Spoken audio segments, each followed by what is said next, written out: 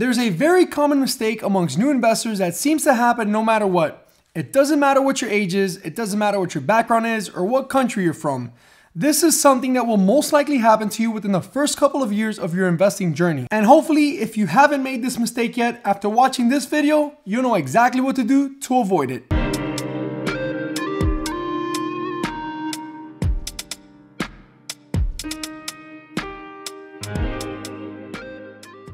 What's up guys, welcome back to the channel. If you're new to the channel, welcome. My name is Johan Lorenzo, and in this channel, we talk about dividend growth investing and a few other ways on how to make money in the stock market. Learning how to make money in the stock market has given me a ton of opportunities and a ton of freedom. You'd be surprised at how much of a difference an extra stream of passive income can have on your life. And if I know anything about money, it is this. Most of us regular people like myself, we've got to work hard for our money.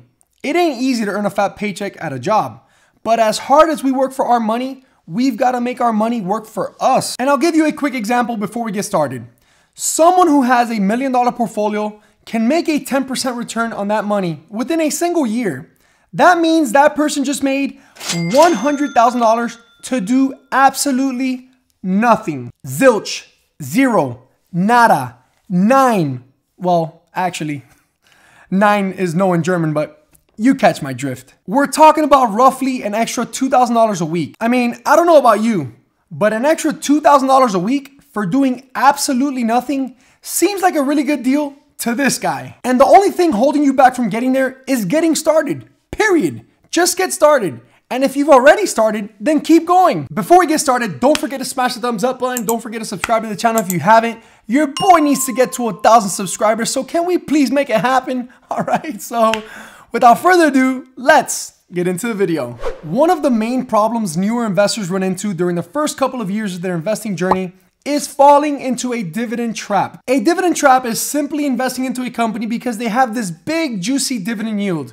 Usually this dividend yield will be above 10% and you being a newer investor, you start thinking to yourself, Dude, I'm about to make some big old bucks investing in this one. Wrong. And man, oh man, can this be a headache to deal with? And quite frankly, most times you end up losing money. Not only does it suck to lose your hard earned money, but it could have a real negative impact on you moving forward with the rest of your investing journey. So I wanna give you guys a few tips on how you can spot these red flags and hopefully avoid any future dividend traps. Red flag number one, anything with a really high dividend yield that looks too good to be true is most likely a dividend trap not including REITs or MLPs, for the most part, a dividend yield above 6% is kinda, sorta making its way towards a slippery slope. Slippery, he say. You think Charlie care anything about slippery? Only thing he knows is slip your throat. Red flag number two. Over the years, their stock performance has a terrible track record. If you're investing in a stock that pays a great dividend, but the stock does nothing but fall in share price year after year, it's a pointless investment and you're actually not making any money at all. The goal is to have your share price appreciate over the years on top of collecting a great dividend. That way, if you ever decide to sell your shares when you're old and wrinkled, you'll make 10 times the amount of what you paid for them decades ago. Red flag number three the dividend growth of the company is pure garbage. As a dividend growth investor, our primary goal is to invest in companies which pay us a consistent dividend throughout the years. Not only do we want the consistency of a dividend, but we also want to see the dividend grow throughout the years as well. The same way you look forward to getting a pay raise at your job, you should look forward to having your dividends give you a raise every year too. So if you have 10 dividend stocks, you should look forward to having 10 different companies give you a pay raise every single year. Red flag number four. The company has cut their dividend several times within the last few years. Investing in a company that cuts their dividend sucks. That's just the basic way to put it. Our goal as dividend investors is to invest in companies which we can rely on for consistent income.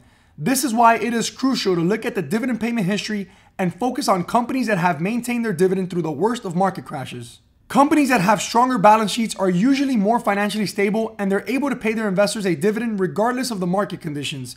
And the more years a company has of consistently paying and raising a dividend, the better. All right, so now let's go over a few live examples of what a dividend trap looks like. We'll also compare these dividend traps to a few companies that I consider to be pretty good dividend investments. This one has dividend trap written all over it. This is Invesco Mortgage Capital Inc., ticker symbol IVR. Right now, they have an insane dividend yield of 18.46%. If you're a new investor and you don't know any better, this might seem like you found a pot of gold, but boy oh boy, are you far from it. The stock price is currently down over 49% for the year, and in the last five years, they're down over 87%. Basically, that dividend you're collecting is absolutely useless. Looking at their dividend growth, they've basically slashed their dividend completely. Imagine working a job where every year your employer gave you a pay cut. You probably wouldn't be around for much longer, right?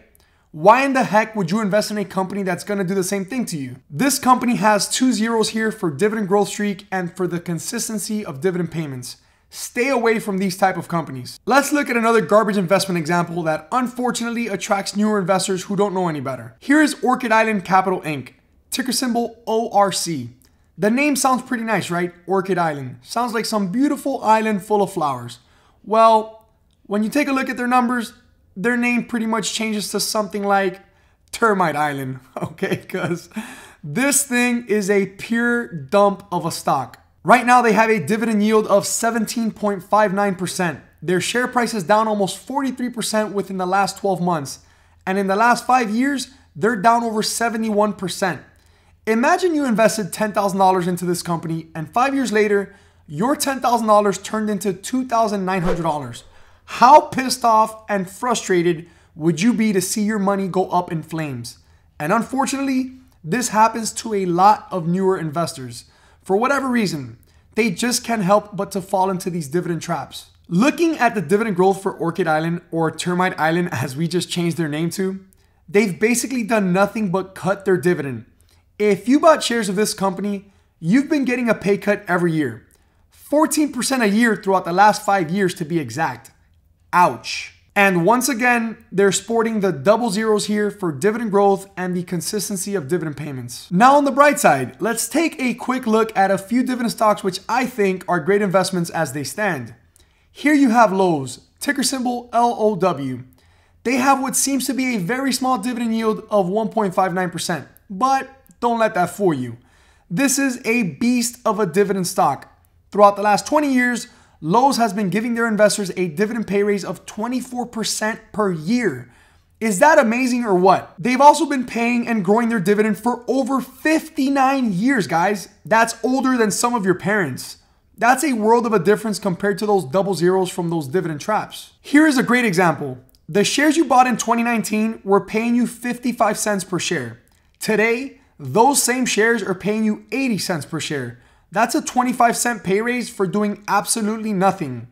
If you owned 100 shares of this stock, that would mean you'd be getting an extra 25 bucks in your pocket every single time they paid you a dividend for doing absolutely nothing. Over the last five years, their share price is up over 145%. You basically more than doubled your money. And mind you, Lowe's is actually on a major sale right now and they're pretty discounted when you take a look at them, but they're still up over 145% throughout the last five years. That's amazing. Here's another good one.